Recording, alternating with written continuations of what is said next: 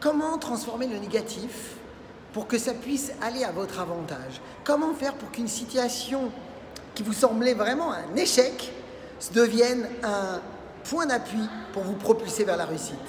Bonjour à toutes et à tous, je suis Christophe Tamry, propulseur de leader et fondateur du programme Réussite MLM, qui sont donc vos programmes de coaching et de formation en marketing de réseau et en développement personnel, donc combinés, pour vous aider à révéler le leader qui est en vous.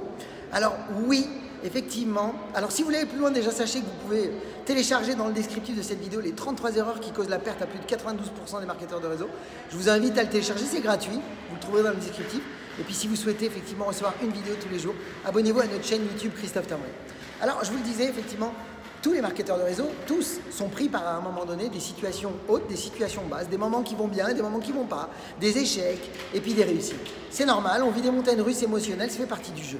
Mais que diriez-vous maintenant si vous aviez une technique qui vous permet de changer votre regard, changer la perspective de la situation à votre avantage pour que vous puissiez, je dirais, avancer constamment et vous servir de tout ce qui vous arrive dans votre chemin pour que vous puissiez aller droit vers votre objectif?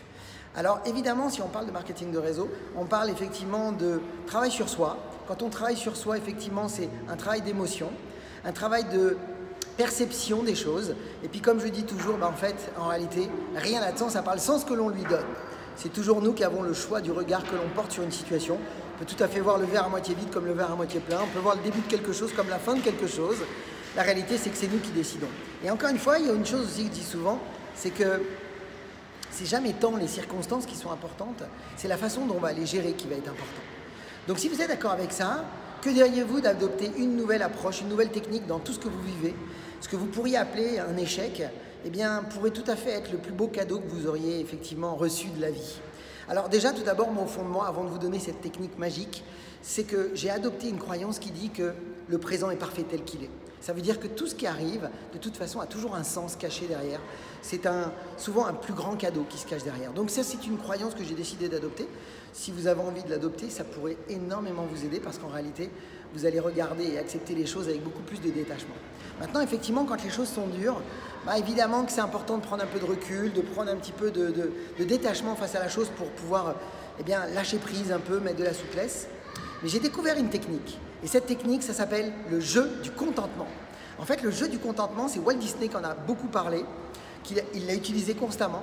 C'est qu'en fait, à chaque fois que les choses n'allaient pas, eh bien, il s'est amusé à utiliser ce jeu, c'est-à-dire chercher toujours le bon côté des choses. Alors, qu'est-ce que ça veut dire? Eh bien, c'est appliquer le côté gratitude dans ce qui vous arrive.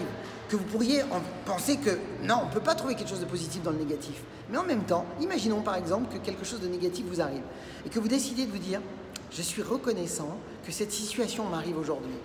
Parce que, et là, envisagez tout de suite le bon côté. Peut-être parce que ça va vous donner eh bien, de nouvelles compétences, parce que ça va vous pousser à devoir apprendre de nouvelles choses. Trouvez 5, 6, 8, 10 choses. Je suis reconnaissant que cette situation m'arrive parce que ça va peut-être me permettre de voir que les proches qui sont autour de moi me soutiennent. Je suis reconnaissant que cette situation m'arrive parce que eh bien, je suis en train de forger mon caractère. Et bizarrement, d'une situation dans laquelle vous étiez bloqué, que vous trouviez échec, eh bien vous êtes en train de voir le bon côté des choses grâce à cette situation. Et qu'est-ce qui va se passer? C'est que vous êtes en train de changer votre focus, vous orienter vers les solutions. Et en orientant vers les solutions, en remerciant de cette chose qui vient de vous arriver, qui était a priori négative, et qui en fait est en train de vous apprendre des clés, des choses en vous pour pouvoir devenir encore plus grand, eh bien rien qu'en focalisant sur la bonne direction, vous allez voir que c'est le tapis rouge qui va se dérouler devant vous. C'est de nouvelles situations, de nouvelles occasions, de nouvelles opportunités qui vont se présenter à vous. Appliquez le jeu du contentement.